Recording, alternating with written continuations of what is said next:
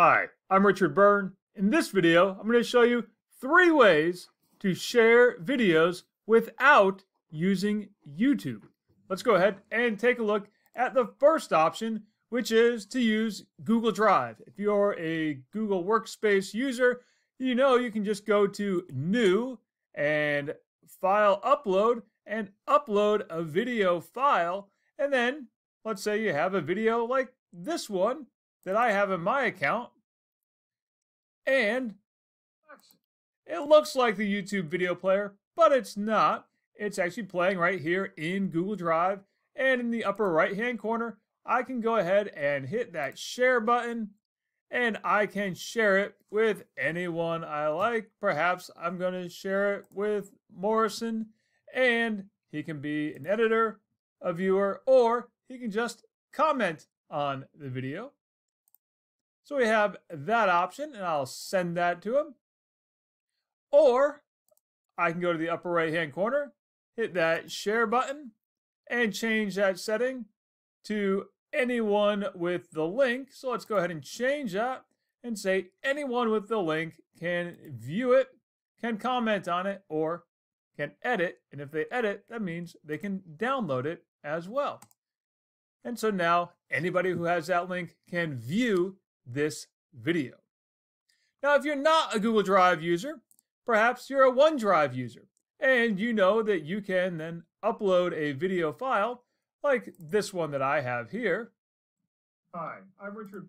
Look, that's me wearing the same shirt that I'm wearing right now.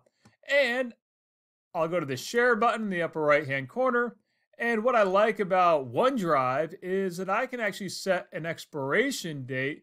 Let's say I'm going to set an expiration of you know, seven days from now. My students have one week to look at this video. And I can even set a password on it and say something like, I don't know, password.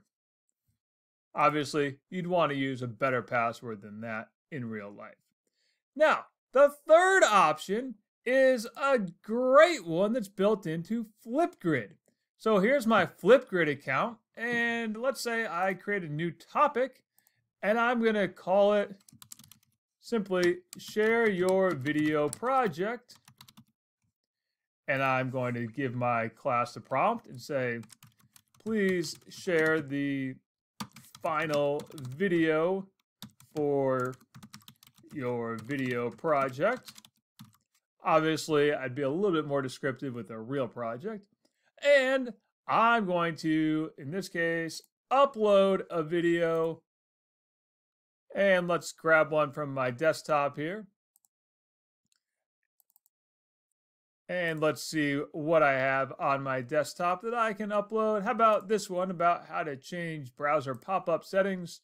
And we'll go ahead. Hi, I'm Richard Byrne. In this video, I'm going to show and we'll upload that video. We'll hit next. I like that cover. And we're going to upload the video. Now, my students can do the same thing when they respond to this topic. They can upload their own videos in response to my new topic.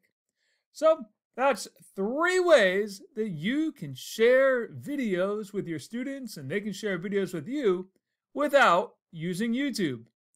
Ironically, I'm putting this video on YouTube where you can subscribe to my channel to find lots of more tips just like this one, or visit freetech4teachers.com.